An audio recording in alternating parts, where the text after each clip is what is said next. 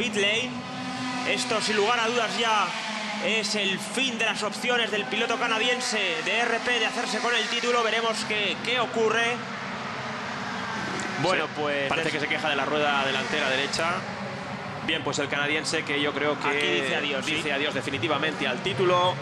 Nicolo Esquiró es el virtual vencedor porque después de esta parada no acabo de entender muy bien qué es lo que Yo creo que, esto ¿eh? es algo más mental que, que, que realmente le pasase algo al coche y si la situación entre ambos ya era muy tensa antes de esta carrera, algo me dice que esa primera curva que han hecho, que han afrontado los dos pilotos de RP, no va a ayudar en modo alguno a que esa situación, esa relación entre ambos se suavice. Facu Regalia ya que con menos de dos minutos sigue en primera posición. Parece que el argentino puede redondear un fin de semana prácticamente perfecto. Así es, Facu Regalia se encamina a efectuar el primer doblete de la temporada. Podría lograr la tercera victoria hoy aquí en el circuito de Cataluña. Y Nicolo Esquiró que se mantiene en cuarta posición. Hasta hoy segundo de la general y prácticamente virtual ganador del título si no le pasa algo de aquí a final de, a final de carrera. Estamos ya en el último giro, último paso por la línea de meta. Facu Regalia que encara ya la última vuelta en primera posición con Ed Jones a una cierta distancia, algo más de dos segundos, y Alex Riveras cómodamente instalado ahí en tercera posición. Extraordinario el rendimiento del piloto catalán Alex Riveras, que había partido desde la sexta línea de la parrilla, desde la sexta posición de la parrilla de salida. Un Alex Riveras que ayer ya subió al podio, ya finalizó en tercer lugar y que hoy va camino de repetir aquel, aquel resultado. Vemos ahí a Nicolo Esquiró trazando una de las curvas. Es ya el virtual vencedor de este, de este campeonato. Realmente ha sido un campeonato muy disputado, muy emocionante, sobre todo por la excelente remontada que ha efectuado este piloto italiano que había ganado las dos carreras de Monza y después de, aquel doblete ya realmente insufló muchísima presión, le metió muchísima presión a Gianmarco Raimondo que no ha podido superarla aquí en el circuito, en el circuito de Cataluña. Nicolo Esquiró a punto de tomar el relevo del campeón del pasado año, que fue Alex Fontana. un piloto suizo que cuajó también una temporada realmente brillante el año pasado Facurregalia ya afrontando los últimos metros de la que puede ser su tercera victoria de la temporada aquí en el F3 Open.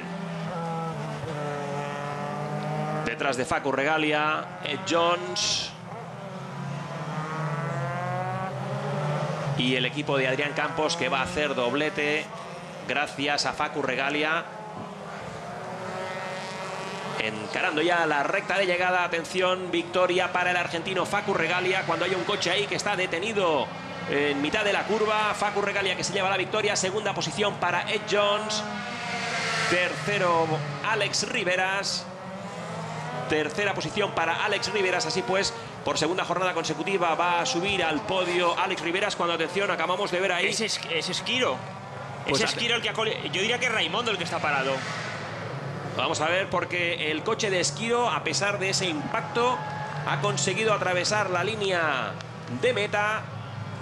Tercera, perdón, cuarta posición para Esquiro. No sé si es el coche de Raimondo el que está detenido en la curva, no hemos podido verlo.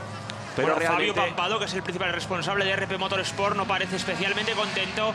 Y, y ahí vemos que hace gestos ostensibles de que si es Raimondo el que se ha quedado detenido en la entrada en línea de meta. Sin lugar a dudas es una maniobra muy peligrosa y lamentamos que, que Raimondo, si era realmente él, haya tomado esa decisión de, de, no, de intentar exactamente no sé el qué, de, dejar fuera de carrera a Esquiro. La verdad es que es una, es una auténtica pena. Aquí vemos repetida esa maniobra como Esquiro colisionaba con. Yo, es que yo diría que Raimondo. Sí, sí, es, es Raimondo. Sí, Raimondo, sí. Es Raimondo. Vemos ahí el casco, sí, sí, es Raimondo, ahí en mitad de la pista. Yo mmm, lamento, o sea, Raimondo ha hecho una temporada muy brillante, pero creo que eso no le ayuda en absoluto. Bueno, y aquí vemos la, la, incredulidad en el seno del propio equipo RP. Porque mm, había entrado en el pit Bueno, aquí vemos la clasificación de la carrera, Tony.